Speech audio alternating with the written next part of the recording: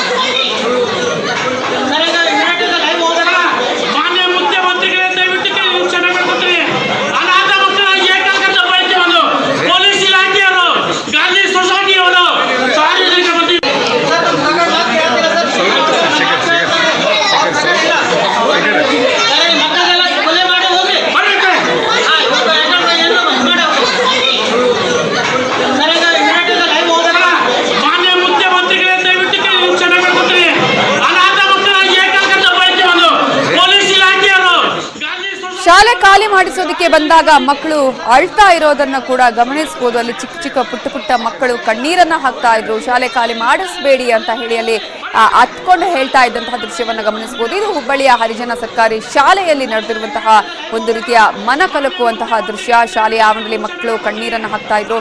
ಸಾವಿರದ ಒಂಬೈನೂರ ಐವತ್ತ ಆರರಲ್ಲಿ ಈ ಒಂದು ಶಾಲೆ ಆರಂಭ ಆಗಿದೆ. ಗಾಂಧಿವಾಡ ಕೋಆಪರೇಟಿವ್ ಸೊಸೈಟಿಯಿಂದ ಭೂಮಿಯನ್ನ ಖರೀದಿ ಮಾಡಿ, ಭೂಮಿಯನ್ನ ಲೇಔಟ್ ಮಾಡಿ ಮಾರಾಟ ಮಾಡಲಾಗಿತ್ತು. ಆದ್ರೆ ಸದ್ಯ ಶಾಲೆಯ ಜಾಗ ಬಿಡಬೇಕು ಅಂತ ಹೇಳಿ ಪಟ್ಟನ್ನ ಹಿಡಲಾಗಿದ್ದು, ಗಾಂಧಿವಾಡ ಸೊಸೈಟಿ ಕೊಟ್ಟಿ ದಾಖಲೆಯನ್ನ ಸೃಷ್ಟಿಸಿ ದಾವೆಯನ್ನ ಹೂಡಿದ್ರು. ನ್ಯಾಯಾಲಯ ಖಾಲಿ ಮಾಡುವಂತೆ ಹೇಳಿದೆ ಅಂತ ಹೇಳ್ತಾ ಇದೆ ಸೊಸೈಟಿಯ ಕಡೆಯವರು ಈ ಮಾತನ್ನ ಹೇಳ್ತಾ ಇದ್ದಾರೆ. ಆದೇಶದಲ್ಲಿ ಶಾಲಾ ಕಟ್ಟಡ ಖಾಲಿ ಮಾಡುವಂತೆ ನಮೂದಿಲಲ್ಲೂ ನ- ಒಂದು ಹೇಳಿರುವಂತಹ ಹಿನ್ನೆಲೆಯಲ್ಲಿ ಒತ್ತಾಯಪೂರ್ವಕವಾಗಿ ನಮೂದು ಇಲ್ಲದಿದ್ರೂ ಕೂಡ ಒತ್ತಾಯಪೂರ್ವಕವಾಗಿ ಪೊಲೀಸ್ ಫೋರ್ಸ್ ಅನ್ನ ತಂದು ಅಲ್ಲಿ ಖಾಲಿ ಮಾಡಲಾಗ್ತಾ ಇದೆ ಅನ್ನುವಂತಹ ಆರೋಪವನ್ನ ಮಾಡಲಾಗಿದೆ.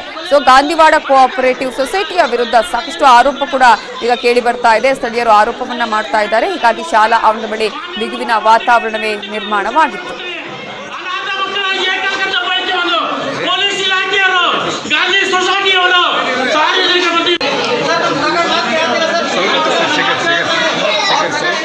ಇದರ ಬಗ್ಗೆ ಡೀಟೇಲ್ಸ್ ಕೊಡೋದಕ್ಕೆ ನಮ್ಮ ರಿಪೋರ್ಟರ್ ಶಿವರಾಮ ಸುಂಡಿ. ಈಗ ಫೋನ್ ಸಂಪರ್ಕದಲ್ಲಿದ್ದಾರೆ. ಶಿವರಾಮ ಸುಂಡಿ, ಈಗ ಹಲವು ವರ್ಷಗಳಿಂದಲೂ ಇದ್ದಂತಹ ಈ ಶಾಲೆಯನ್ನ ಈಗ ಖಾಲಿ ಮಾಡಿಸಬೇಕು ಅನ್ನುವಂತಹದ್ದು ಯಾವ ಕಾರಣಕ್ಕಾಗಿ? ಈಗ ಸದ್ಯಕ್ಕೆ ಯಾವ ರೀತಿಯ ಸಿಚುವೇಶನ್ ಇದೆ ಈಗ?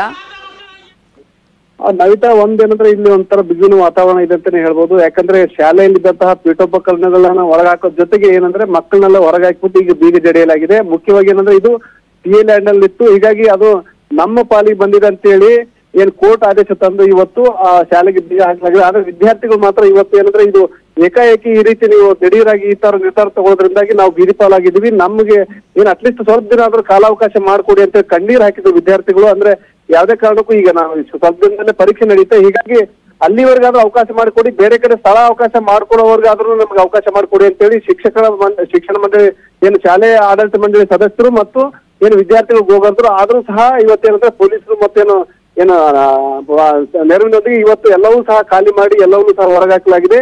ಈಗೇನಂದ್ರೆ ಈಗ ಅವರು ಅನಿವಾರ್ಯವಾಗಿ ಹೊರ ವಿದ್ಯಾರ್ಥಿಗಳು ಹೊರಗಡೆ ಇದ್ದಾರೆ. ಮತ್ತು ಈಗ ಆಲ್ರೆಡಿ ಶಾಲೆಗೆ ಬೀಗ ಜರಿಯಲಾಗಿದೆ Anvita. Okay thank you Shivarama ಸುಂಡಿ ಡೀಟೇಲ್ಸ್ಗೆ